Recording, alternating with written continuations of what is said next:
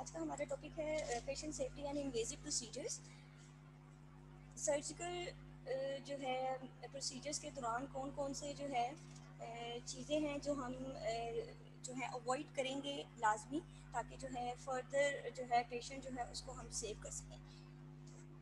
जितने भी हमारे इन्वेजिव प्रोसीजर्स हैं ड्यूरिंग सर्जरी उसमें हमें किन किन चीज़ों की एहतियात जो है, उनकी ज़रूरत है। तो लर्निंग ऑब्जेक्टिव्स जो हैं, वो क्या हैं? Main causes of adverse events जो हैं सर्जिकल इवेंट में जो कि विदाउट आर इंटेंशंस जो हैं, हो जाते हैं, उनको हम किस तरह से मिनिमाइज कर सकते हैं?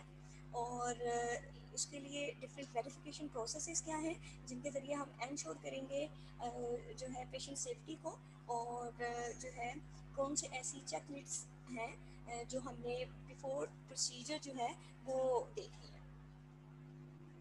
इसके लिए नॉलेज रिक्वायरमेंट क्या है?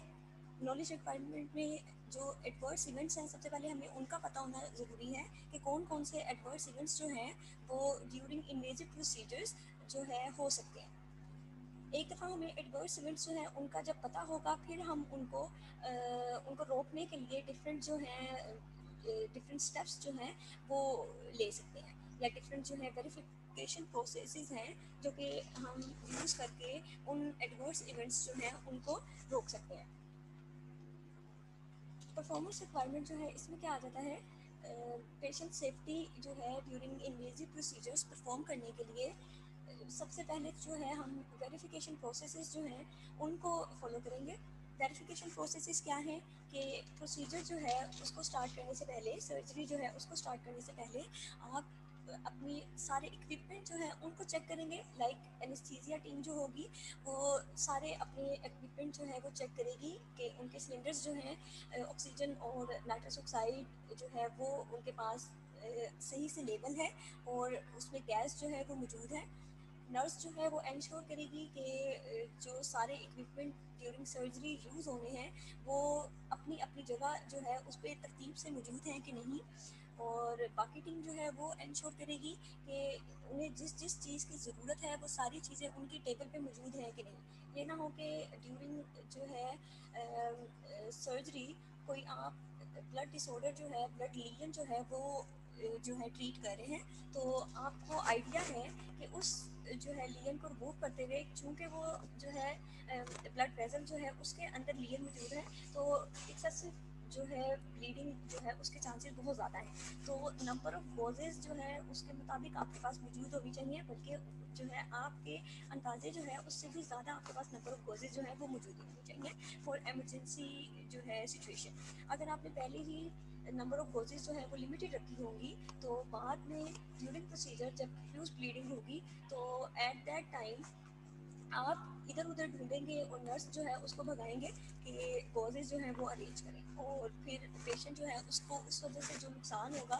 एक्सेसिव ब्लीडिंग की वजह से वो कंडीशन जो होगी उसकी अनकंट्रोल होगी तो इसलिए सारी चीज़ें जो हैं, वो बिफोर सर्जरी जो है आप वेरीफाई करेंगे कि जो है पेशेंट जो है वो जो हमने ट्रीट करना है वही पेशेंट है, उसको आपने जो है चेक कर लिया, उसके नेम उसके क्रेडेंशियल्स और जो है उसकी साइट चेक करेंगे। जिस साइट पे आपने प्रोसीजर परफॉर्म करना है, वो जो है लेबल हुई भी है और रीचेक आपने की है, जो उसके परफॉर्मा में लिखी थी, वही साइट है। पेशेंट जो है उससे एक दफ़ा आप कंफर्म करेंगे। प्रोसीजर जो है, उस जो है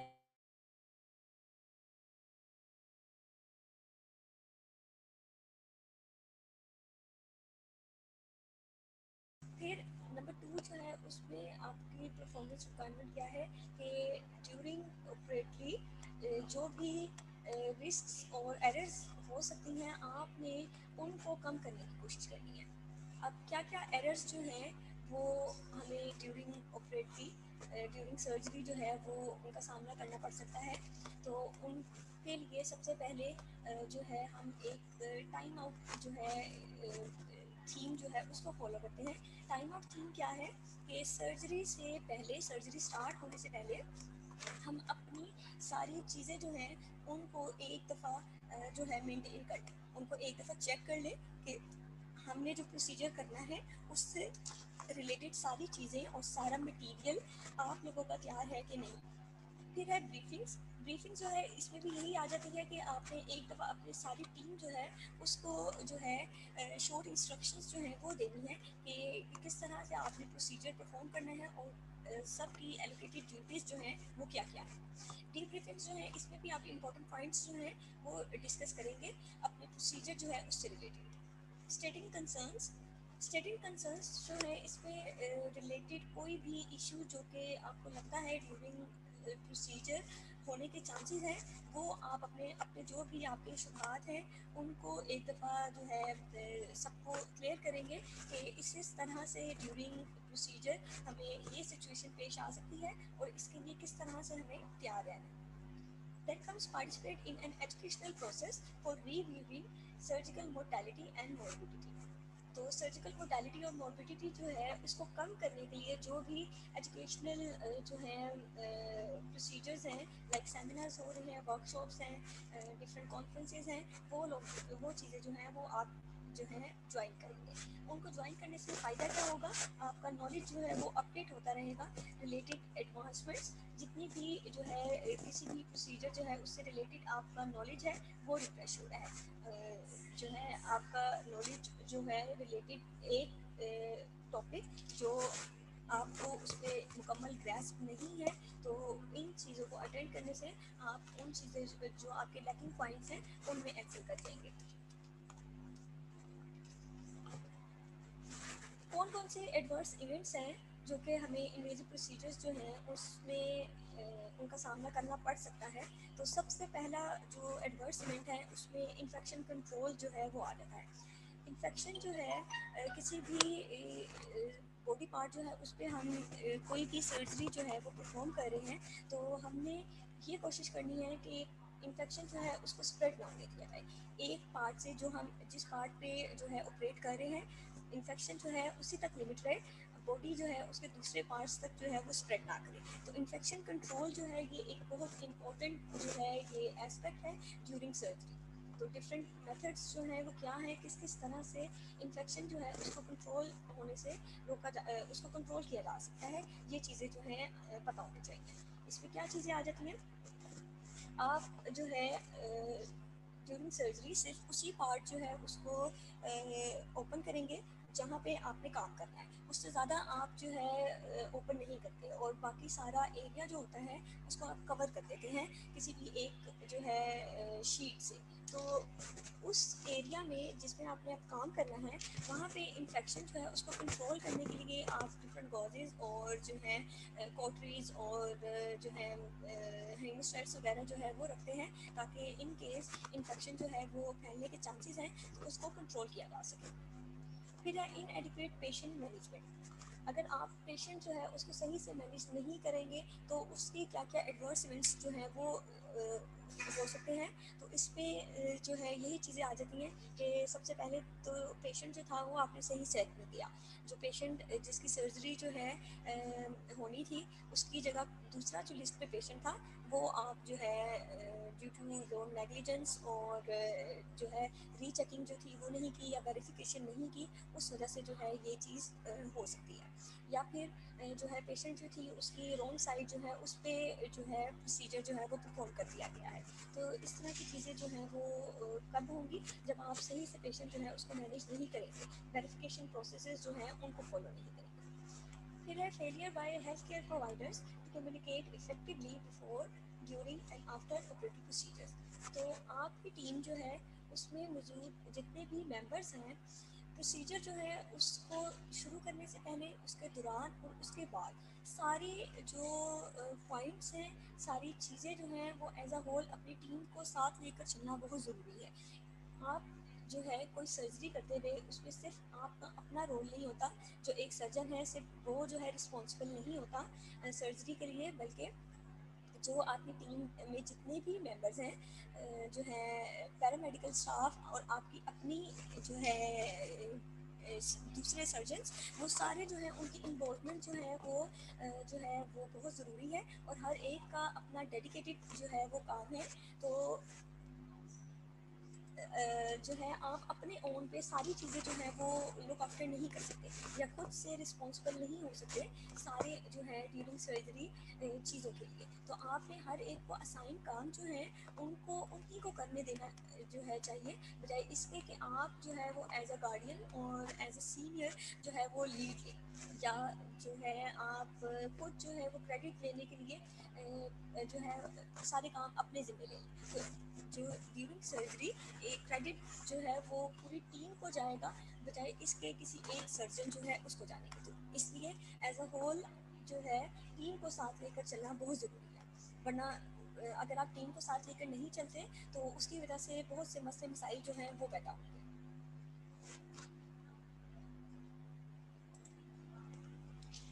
फिर डिफरेंट वेरिफिकेशन प्रोसेसेस हैं। इनमें क्या आ जाता है? इसमें जो हमारी सेट गाइडलाइंस हैं सर्जिकल केयर के लिए वो आ जाती हैं। कौन कौन सी गाइडलाइंस हैं जिन को फॉलो करके हम जो है अपने जो प्रोसीजर्स हैं, उसमें कोई भी एडवर्स इवेंट्स जो हैं, उनको रोक सकते हैं। तो डब्ल्यू एच ओ जो है वर्ल्ड हेल्थ ऑर्गेनाइजेशन इन्होंने एक प्रोटोकॉल जो है वो डाला है पेशेंट सेफ्टी के लिए ड्यूरिंग इन्वेजिव प्रोसीजर्स तो कौन कौन सी चीज़ें हैं जिनको हमने जो है इम्पोर्टेंस देनी है या मेन जो फोकस है हमारा उनकी तरफ़ होना चाहिए। इसमें सबसे पहली चीज़ जो है वो हैंड हाइजीन है। हैंड हाइजीन या स्टेलाइजेशन कह लें। Sterilization is the most important thing during any invasive और non invasive procedure non invasive में ठीक है, इसकी इम्पोर्टेंस थोड़ी सी हम जो है वो कह लें। कम कर लेते हैं, लेकिन इन्वेजिव प्रोसीजर्स जो हैं, उनमें स्टेलाइजेशन जो है, इस पर कॉम्प्रोमाइज़ जो है, बिल्कुल भी नहीं किया जा सकता। Number two operating room and anaesthesia checklist तो जो है एनेस्थीसिया टीम जो है, ये भी बहुत इंपॉर्टेंट एक जो एस्पेक्ट है, आपकी सर्जरी का है। विदाउट जो है एनेस्थेटिक टीम आप कोई भी सर्जरी या कोई भी प्रोसीजर जो है, वो परफॉर्म नहीं कर सकते। फिर आ जाती है पोस्ट ऑफ़ मैनेजमेंट तो सर्जरी जो है, वो डन एक दफ़ा कर लें आप जो है अकम्पलिश हो गया आपका गोल तो उसके बाद आपका काम ख़त्म नहीं हो जाता बल्कि अब जो है आफ्टर प्रोसीजर जो भी कॉम्प्लिकेशंस जो हैं, वो हो सकती हैं, उनको कम करना जो है, वो भी आपकी जो है ड्यूटी जो है, उसमें शामिल है।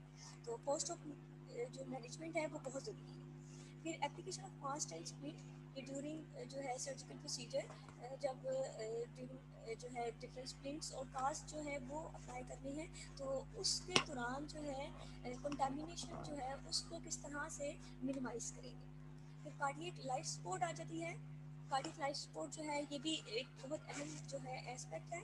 किस तरह से जो है ड्यूरिंग जो है सर्जरी अगर कोई जो है डिफ़िकल्ट सिचुएशन पेश आ जाती है due to excessive blood loss और जो है ड्यू टू अदर रीज़न तो फिर आप जो है आपकी जो कार्डियक टीम है लाइफ सपोर्ट टीम वो जो है एट द वेरी एंड जो है वो मौजूद होनी चाहिए पेशेंट जो है उसको रिकवर करने के लिए। एयरवे मैनेजमेंट है। एयरवे मैनेजमेंट जो है, ये भी बहुत इंपॉर्टेंट है क्योंकि मोस्ट ऑफ़ द प्रोसीजर्स जो हैं, वो हम, जो है इसोफिगस जो है, उसी से जो है कह के जो है अप्रोच करते हैं। डिफरेंट रीजन्स ऑफ़ बॉडी जो है, उनको। तो जो है एयरवे मेंटेनेंस जो है, ये बहुत ज़रूरी जो है ड्यूरिंग जो है हमारी वेरिफिकेशन प्रोसेस है। किस तरह से हमने एयरवे जो है, उसको मेंटेन करना तो ये डिफरेंट जो है कंटेंट्स यहाँ पे लिखे हुए हैं। ये भी जो है हमारी वेरिफिकेशन प्रोसेस या गाइडलाइंस जो हैं जो है उसमें आ जाती है कि सर्जरी से पहले कौन कौन में मैम आपकी आवाज़ बहुत स्लो आ रही है। आप मुझे ये बताइए कि समझ आ रही है आप लोगों को? मैम मुझे तो नहीं आ रही है। बहुत स्लो आवाज़ है। नो मैम नहीं आ रही। उसकी वजह से क्लासरूम जो है उनमें हम जो है नहीं ले सकते क्लासरूम अवेलेबल नहीं है। यस मैम नहीं आ रही है समझ। इस वजह से हो रहा है।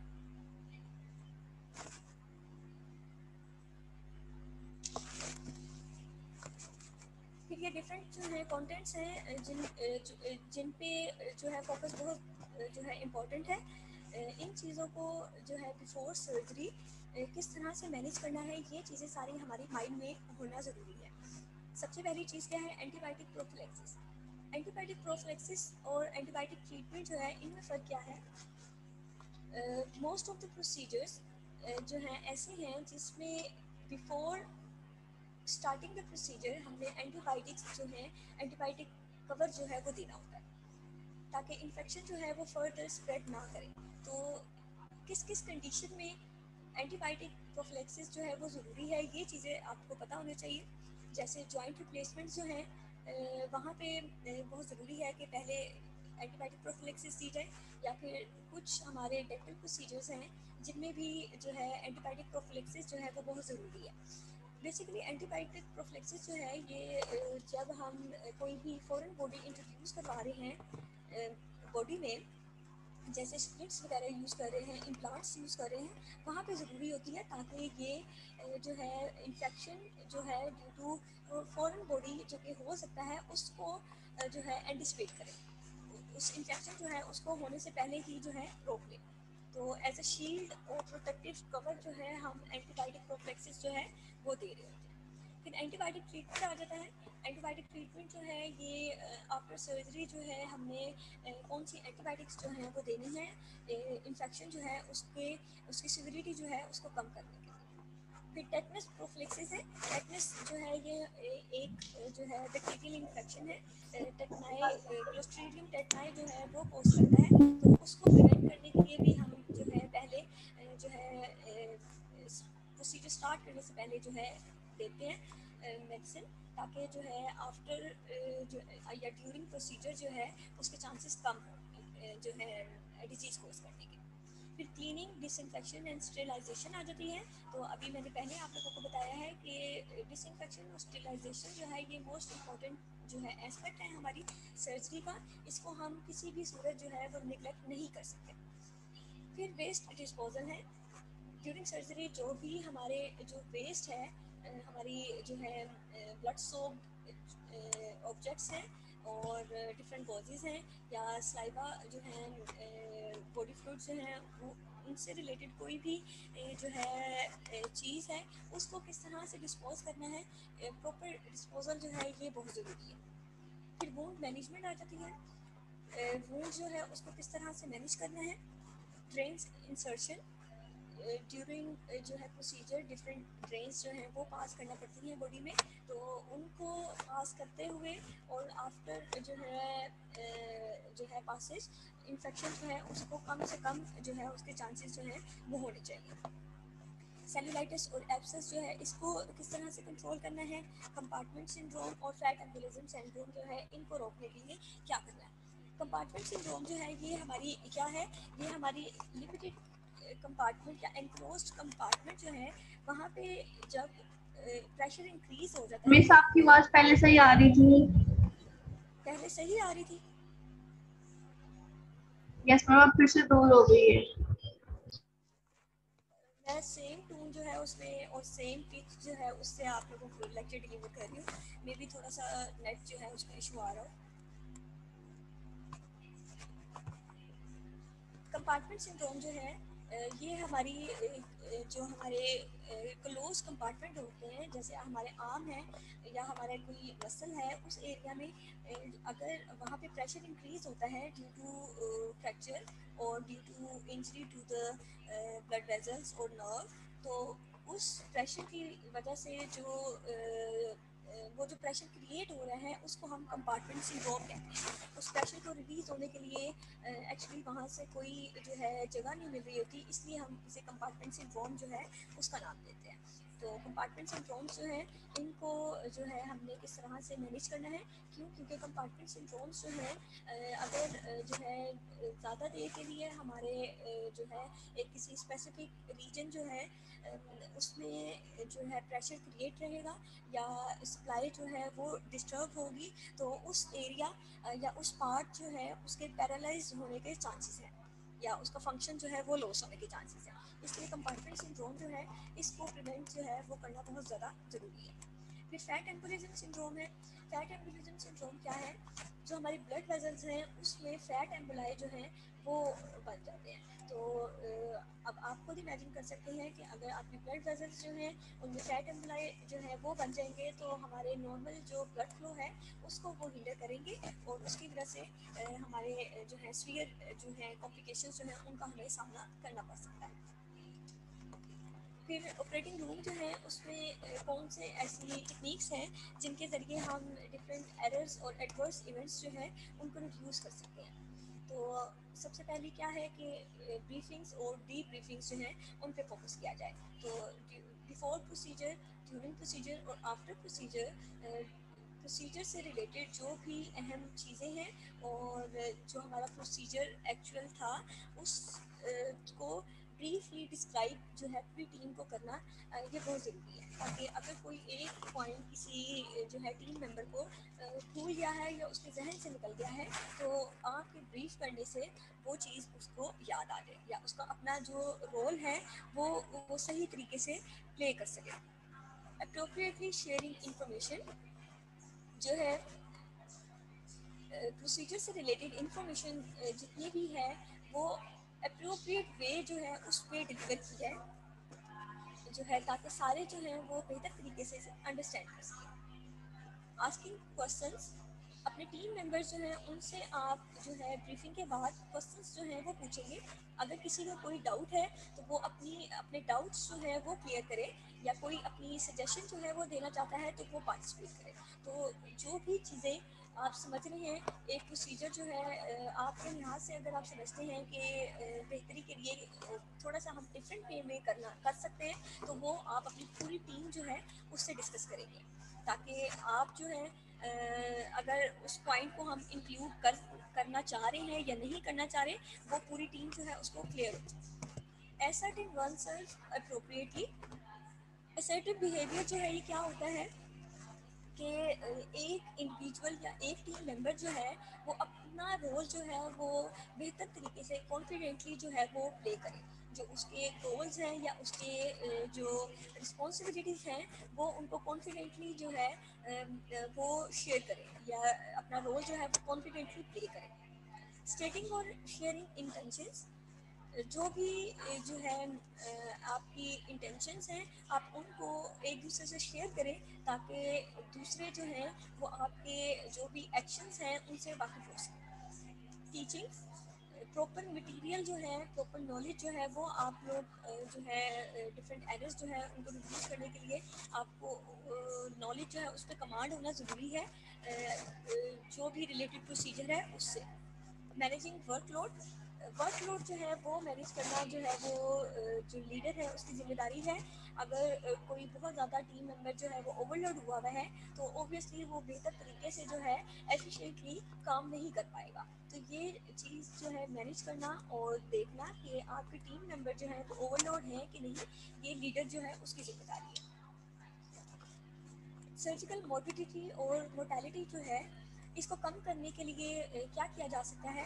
तो डिफरेंट जो है, ये क्वेश्चंस हैं जो कि हम सोच सकते हैं या कर सकते हैं मोर्टैलिटी और मोर्बिडिटी जो है, उसको कम करने के सबसे पहली चीज़ क्या है? इस द मीटिंग स्ट्रक्चर जो जो है मोर्टैलिटी और मोर्बिडिटी जो है, उसको कम करने के लिए मीटिंग जो हेल्ड की गई है, वो स्ट्रक्चरल थी कि नहीं थी उसकी एक जो है बेसिस क्या थी? उसमें मेन पॉइंट्स जो थे, वो डिस्कस किए गए कि नहीं किए गए? या इधर उधर की जो है, बस बातें करके वो मीटिंग जो थी, वो एंड कर दी। Is there an emphasis on education and understanding during meeting जो है, वो जो है नॉलेज जो है, उस पर फोकस किया गया है कि नहीं? और लोगों को कितनी उसकी समझ आई है या नहीं? ये चीज़ जो है बहुत ज़रूरी है। ये चीज़ जो है वो एक्सप्लोर करना। इस prevention the goal of the discussion जो हमारी मीटिंग थी, उसका मकसद जो है वो prevention of different adverse events and mortality और मोर्बिडिटी था कि नहीं, ये जो है पता होना चाहिए। Are this meetings considered a core activity जो मीटिंग्स जो है वो कंडक्ट की जा रही हैं, वो कोर एक्टिविटी जो है वो है कि नहीं? उनका कोई फ़ायदा भी हो रहा है या नहीं हो रहा? उन्हें बेसिक जो नॉलेज डिलीवर करना चाह रहे हैं वो डिलीवर हो रहा है कि नहीं? Is everyone is everyone involve during जो है मीटिंग सारे पार्टिसिपेंट्स जो हैं उनको इन, उनकी इन्वॉल्वमेंट जो है वो बहुत ज़रूरी है। सबको अगर आप एज ए टीम जो है वो साथ लेकर चलेंगे ma'am excuse me ma'am ma'am आपकी आवाज़ बहुत कम आ रही है। क्लास अगर आपको समझ आ रही है ना आवाज़ तो फिर कोई इशू नहीं है।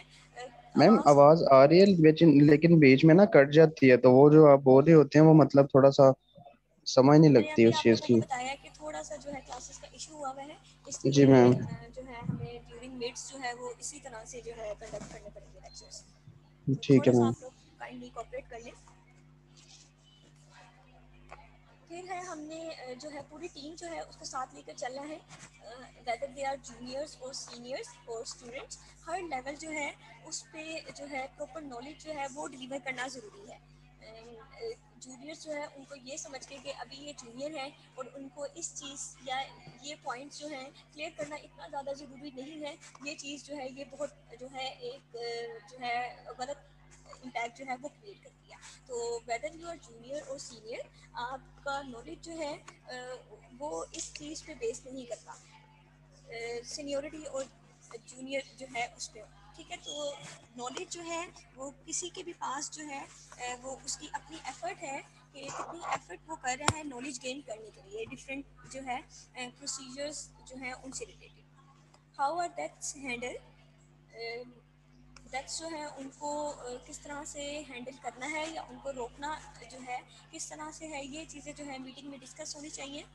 Is a written summary of the discussion kept after a meeting और ए कॉन्फ्रेंस और वर्कशॉप जो भी पॉइंट्स जो हैं, वो डिस्कस हुए हैं, उनकी एक समरी जो है वो जो है वर्बल और रिटन दोनों जो है होना बहुत ज़रूरी है। ताकि रिटर्न समरी जो है, इसका फ़ायदा क्या है कि आप बाद में एट अ क्विक ग्लांस जो है वो चीज़ें जो हैं, वो जो है रिफ़्रेश कर पाएँ कि आपने जो आपकी मीटिंग हुई थी, उसमें क्या क्या चीज़ें जो थी, वो डिस्कस की थी। फिर इन्फेक्शन जो है, इसको कम करने के लिए क्या क्या चीज़ें जो हैं, वो ज़रूरी हैं? ऑब्जेक्टिव क्या है? हमारा इन्फेक्शन जो है उसको मिनिमाइज करने के लिए कि जो भी प्रोसीजर के दौरान जो है हमारे इन्फेक्शन होने के चांसेस हैं, हम डिफरेंट प्रोटोकॉल जो हैं उनको फॉलो करके उन उन चांसेस जो हैं उनको कम कर सकें।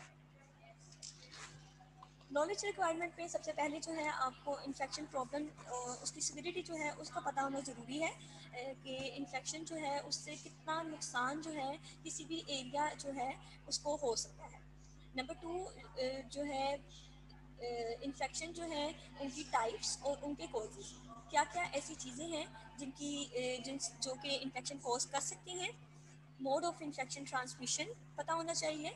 और मेथड ऑफ़ इन्फेक्शन कंट्रोल जो है वो पता होना चाहिए। परफॉर्मेंस रिक्वायरमेंट जो है, उसमें क्या आ जाता है? सबसे पहले यूनिवर्सल प्रोटोकॉल्स हैं या यूनिवर्सल प्रिकॉशंस हैं, जो कि अप्लाई करनी है। यूनिवर्सल प्रिकॉशंस जो है, इनमें क्या आ जाता है? यूनिवर्सल प्रिकॉशंस में सबसे पहले पर्सनल प्रोटेक्शन जो है वो आती है। पर्सनल प्रोटेक्शन मेथड्स जो है, वो डिफरेंट जो है, आपको पता होने चाहिए किस तरह से आपने as a health care member अपने आप को और पेशेंट जो है, उसको प्रोटेक्ट करना है। Number two immunisation hepatitis B और सी जो है, उसको जो है स्प्रेड करने से रोकने के लिए इम्यूनाइजेशन जो है, उसका, उससे रिलेटेड इंफॉर्मेशन ज़रूरी है। Know what to do if you get expose अगर जो है हेप बी या हेप सी जो है पेशेंट से आपका कांटेक्ट हो जाता है तो उस केस में कौन से स्टेप्स हैं जो कि आपने लेने हैं? Encourage others to use universal precautions. आपने खुद जो है इंस्ट्रक्शंस को फॉलो करने के साथ साथ दूसरे को भी इंकरेज करना है कि वो जो है प्रोटेक्शन मेथड्स या प्रोटोकॉल्स जो है, उनको फॉलो करें। ठीक? अगर आपके सामने आपके टीम मेंबर्स में से कोई जो है नेग्लिजेंस जो है वो दिखा रहा है तो आप उसको ये जो है याद कराएँ कि डिफरेंट प्रोटोकॉल जो थे वो क्या थे और उनको फॉलो करना उनकी ज़िम्मेदारी है।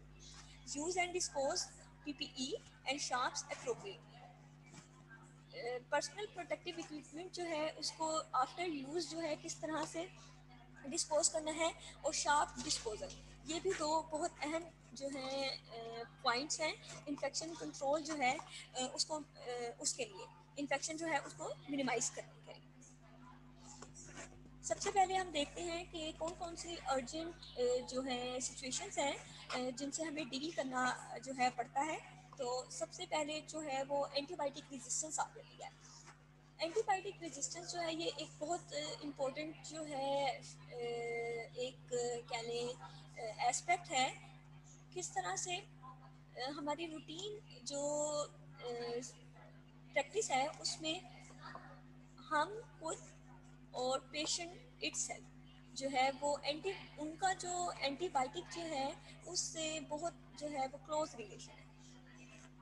मोस्ट ऑफ़ द डॉक्टर्स जो है, सबसे पहले किसी भी जो है डिज़ीज़ जो है विदाउट डायग्नोसिस जो है एंटीबायोटिक्स जो है, वो प्रिस्क्राइब कर रहे हैं। तो डायग्नोसिस से पहले ही whether the reason is anti fung whether the reason is fungal infection और वायरल इन्फेक्शन और some other reason the antibiotic is necessary to prescribe लेकिन इस चीज़ को नज़रअंदाज करके ज़्यादातर जो हमारे एक uh, कह लें कि प्रैक्टिस बन चुकी है, उसमें एंटीबायोटिक जो है एक बहुत इम्पोर्टेंट चीज़ है।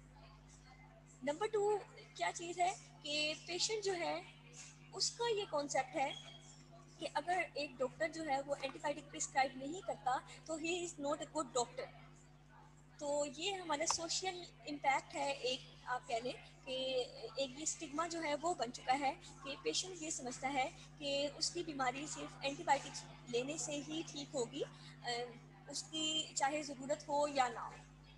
तो एंटीबायोटिक रेजिस्टेंस जो है, ये एक बहुत इम्पोर्टेंट जो है टॉपिक है जिस पे जिसको जो है फोकस करना जो है, वो एक अर्जेंट जो है अर्जेंट जो है चीज़ है।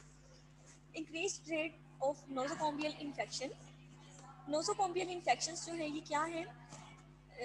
नोजोकॉम्बियल इन्फेक्शन जो है, ये हॉस्पिटल एक्वाइर्ड इन्फेक्शन होते हैं, जो कि before coming to the hospital आप जो हैं, उनसे अफेक्ट नहीं होते और ड्यूरिंग स्टे और during visit to the hospital आप जो है डिफरेंट टाइप ऑफ़ इन्फेक्शन जो हैं, उनसे जो है कंटामिनेट हो जाते हैं तो हॉस्पिटल इन्फेक्शन जो है, उसको किस तरह से कम किया जाए, इस चीज़ पे फोकस करने की ज़रूरत है। Then comes infected patients infected patients जो हैं, हमारी जो हेल्थ केयर सिस्टम है कौन कौन से इन्फेक्टेड पेशेंट्स हैं जिनका हमें सामना करना पड़ता है? सबसे पहले तो वो पेशेंट आ जाते हैं जो कि काफ़ी अरसे से हॉस्पिटल जो है, उसमें मौजूद है। क्रोनिक डिज़ीज़ जो है कोई भी जो है डायलिसिस के पेशेंट्स कह लें या कैंसर के पेशेंट्स जो हैं जो कि कीमोथेरेपी या रेडियो रेडियोथेरेपी जो है वो करवा रहे हैं। तो जिनका ज़्यादा जो है वो कांटेक्ट है हॉस्पिटल इन्वायरमेंट जो है उससे तो वो पेशेंट्स जो हैं इसमें आ जाते हैं कि वो ज़्यादा प्रोन होंगे टू इन्फेक्शन फिर है डाइट पर्सनस इस पे अ, जो लोग जो है ड्यू टू इन्फेक्शन जो है वो उनकी डेथ हुई है वो लोग आ जाते हैं। फिर है treated with some toxic and less effective drugs वो भी जो है इन्फेक्टेड पेशेंट्स जो हैं, उसमें आ जाते हैं। इसके अलावा prone to surgical site infections तो ये सारे जो हैं डिफरेंट टाइप्स ऑफ़ पेशेंट्स हैं, जो कि इन्फेक्टेड जो है, हो सकते हैं। और ऑब्वियसली ये हॉस्पिटल जो सेटिंग है, उसमें इन्फेक्शन के चांसेस जो हैं, उसको इंक्रीज करेंगे। तो इन चीज़ों की तरफ़ फोकस ज़रूरी है कि किस तरह से हम इन चीज़ों को कम कर सकते हैं। इन्फेक्शन जो है, उसको रोकने के लिए वक्ता फ़वक्तन जो है वो डिफरेंट कम्पेन्स जो हैं, वो चलती रहती हैं। जिसमें ये यहाँ पे मैंने डिफरेंट जो है, वो कम्पेन्स जो हैं, वो लिखी हुई है। सबसे पहले जो है, वो clean hands and safer hands campaign है। जो हमारी वर्ल्ड हेल्थ ऑर्गेनाइजेशन है, उनकी तरफ़ से।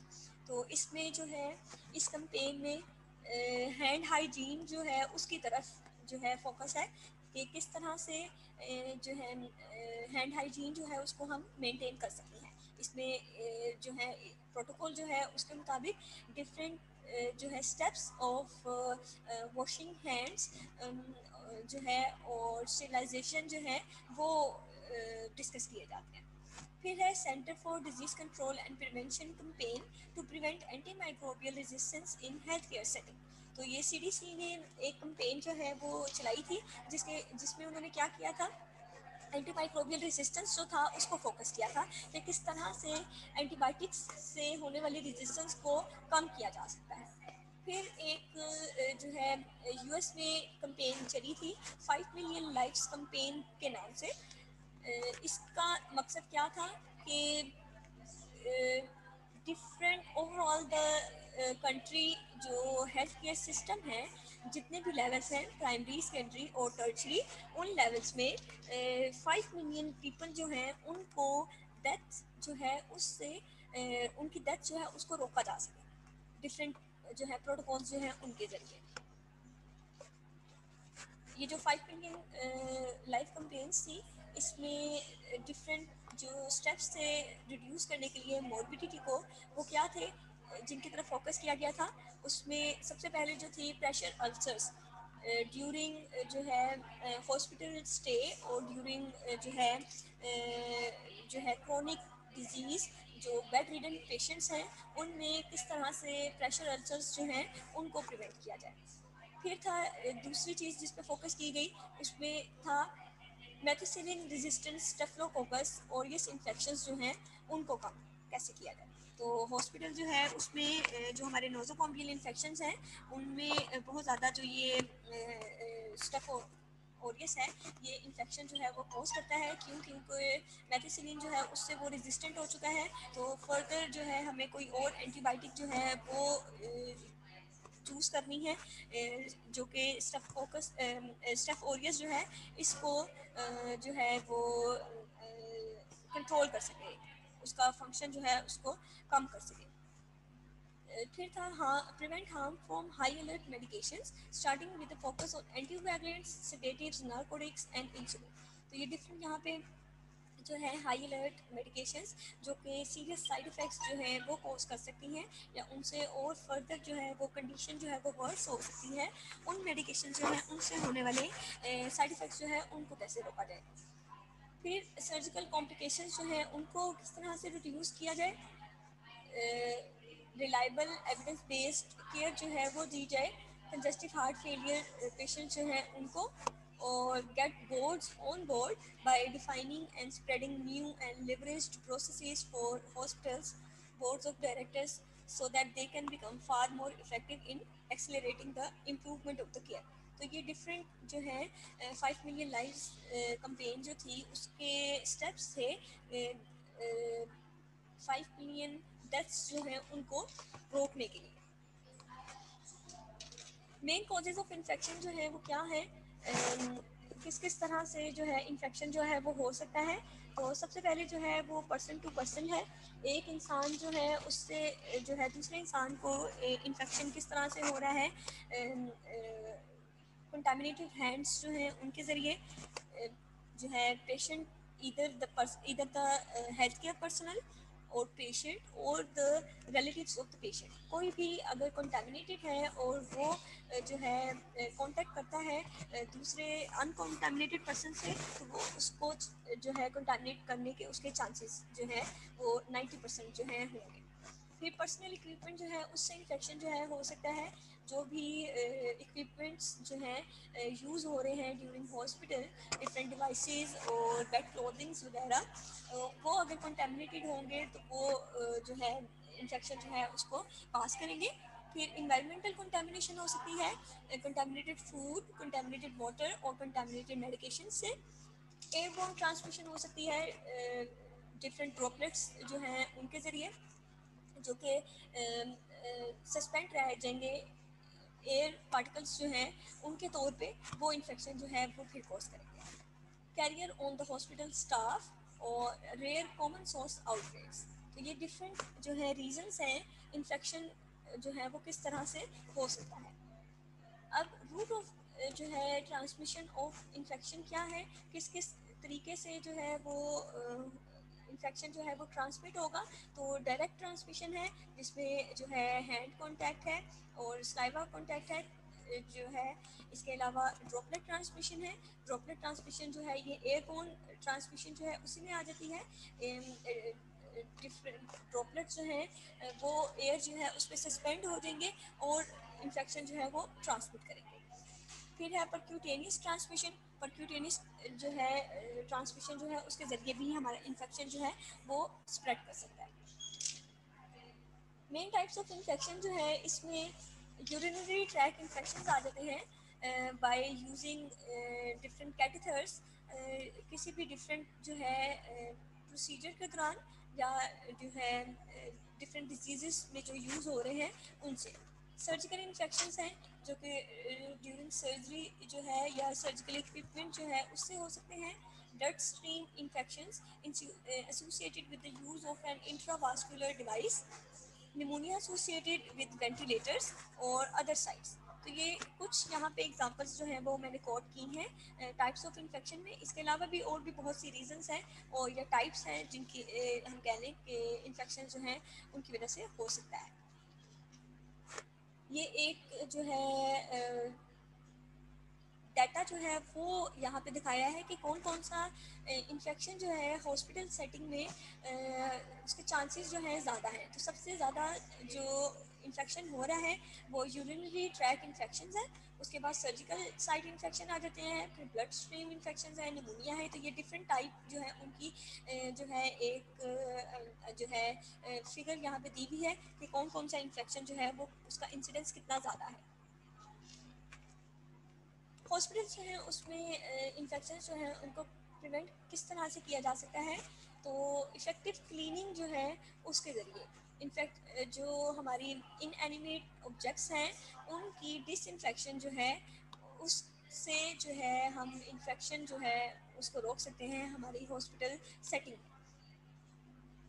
use of hypochlorite and detergent during outbreak जो हमारी क्लीन प्रोसीजर्स हैं ड्यूरिंग आउटब्रेक्स, जैसे कि अभी कोरोना जो है, उससे हमें जो है, उसका सामना करना पड़ा है। तो क्या हुआ है कि आपने देखा होगा कि सारे हॉस्पिटल्स या कहीं भी आप जो है, क्लिनिक में चले जाएँ, वहाँ पे आपको हैंड सैनिटाइजर्स जो हैं, वो रखे हुए ज़रूर नज़र आएँगे। तो ये क्या हुआ है कि ड्यूरिंग आउटब्रेक जो इन्फेक्शन कंट्रोल था या डिसइंफेक्शन थी, उसको हमने इंक्रीज़ कर दिया है। ताकि ज़्यादा से ज़्यादा जो है हम आउटब्रेक जो है उसको कम कर सकें। Prevention through hand washing hand wash जो है सबसे पहला जो हमारा डायरेक्ट कंटामिनेशन जो है उसका जो है ज़रिया है तो हैंड वॉशिंग जो है उसके ज़रिए से हम किस तरह से प्रिवेंट कर सकते हैं इन्फेक्शंस को। तो सबसे पहले पता हो कि किस तरह से क्या प्रोटोकॉल है जिससे हमने फॉलो करना है हैंड मोशन के दौरान। Rational for choice of clean hand practice technique for hand hygiene protecting hands from decontamination and promoting adherence to hand hygiene guidelines तो जो भी हमारी गाइडलाइंस हैं हैंड हाइजीन से रिलेटेड उन पर अमल करके हम जो डायरेक्ट कांटेक्ट है, उसको कम कर सकते हैं। पर्सनल प्रोटेक्टिव इक्विपमेंट जो है, इसमें क्या क्या आ जाता है? एक हेल्थ केयर पर्सनल जो है वो किस तरह से अपने आप को प्रोटेक्ट कर सकता है? तो gloves apron face mask eye shield और फेस शील्ड्स जो हैं, इनके यूज़ के साथ। तो ये डिफरेंट जो हैं सारी जो है नेसेसरी जो है इक्विपमेंट है, जो कि आपको अपने आप को प्रोटेक्ट करने के लिए जो है, वो यूज़ करना ज़रूरी है।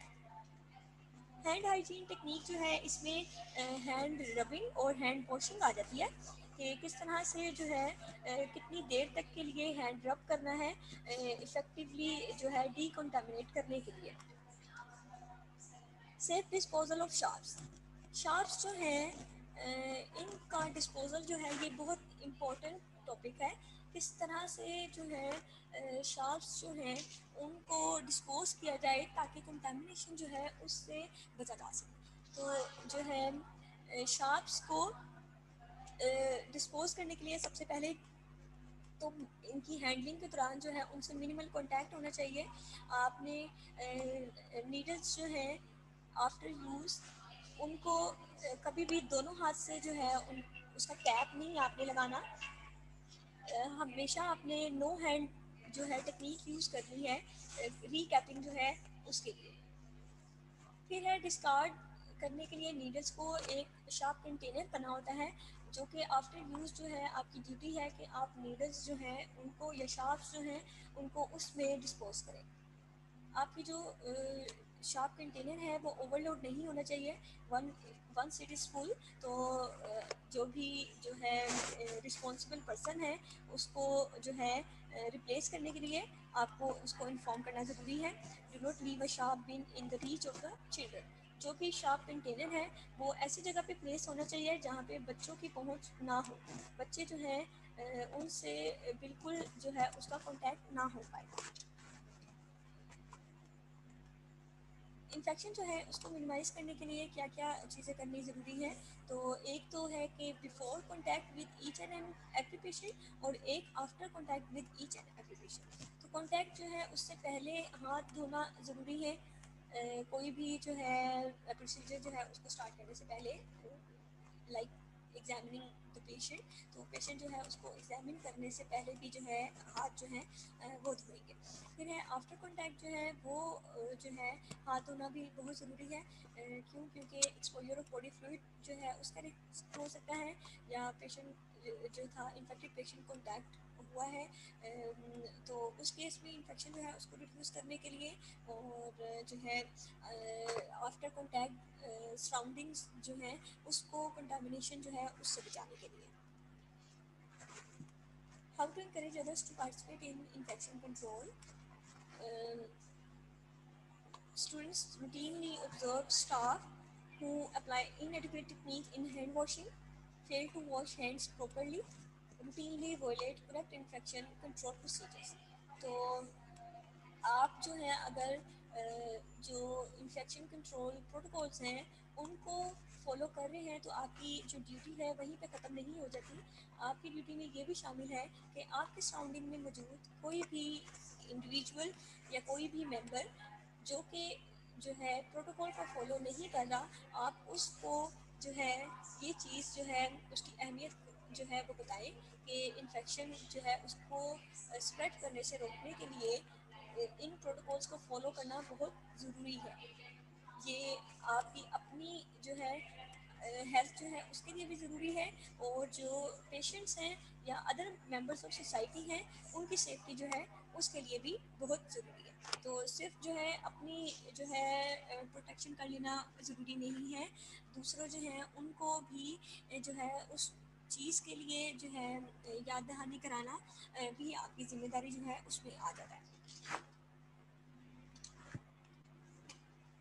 आज के लिए इतना ही। कोई चीज़ आप लोगों को समझ ना आई हो